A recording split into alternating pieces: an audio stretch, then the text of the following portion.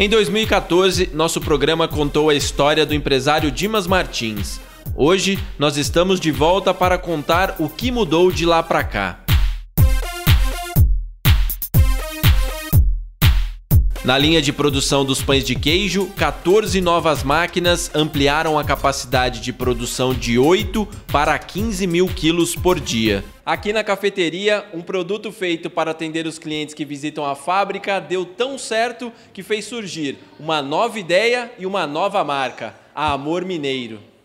Nós começamos fazendo salgado só para a loja, era só para os nossos clientes da loja. Só que começou a tomar um vulto muito grande, aí a gente resolveu a construir esse prédio que nós tínhamos o terreno.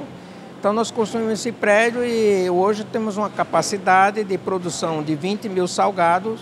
Trouxemos um pessoal mais especializado para fazer o salgado, tiramos parte da outra fábrica e deixamos o espaço da outra fábrica para produção de pão de queijo. No novo espaço de 700 metros quadrados, 28 funcionários, usando uma estrutura moderna de máquinas, produzem dos tradicionais croissant e pão de batata as deliciosas pizzas fechada e tortas salgadas e doces. Todas essas novidades agradaram os clientes. Primeiro, quando a gente passa os nossos clientes, aonde a gente deixa o produto, a qualidade do produto fala por si. É, a gente não tem dado conta da venda, né?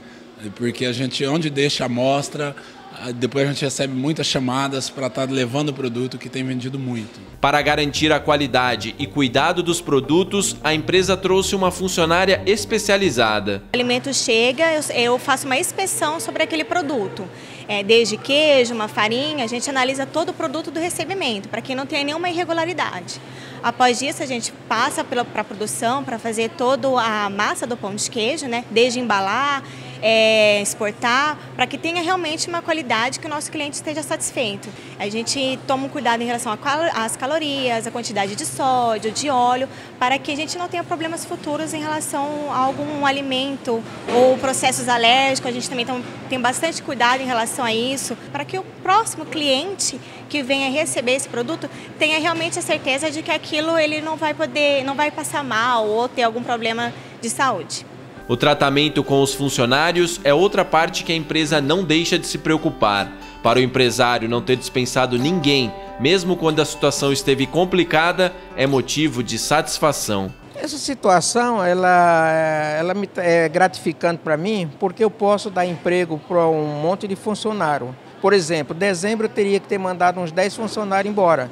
Não mandei, porque que presente eu estaria dando para os funcionários em dezembro, é, no Natal? Então segurei os funcionários, dei férias para os funcionários, transferimos parte dos funcionários para a parte de salgado para que não mandasse ninguém embora. Só saiu alguém que quis sair. Da nossa última visita até hoje, muita coisa mudou, menos uma: o segredo para o sucesso. Fazer produto de qualidade e atender, atender bem os seus clientes. Esse é que é a verdadeira objetivo disso aqui.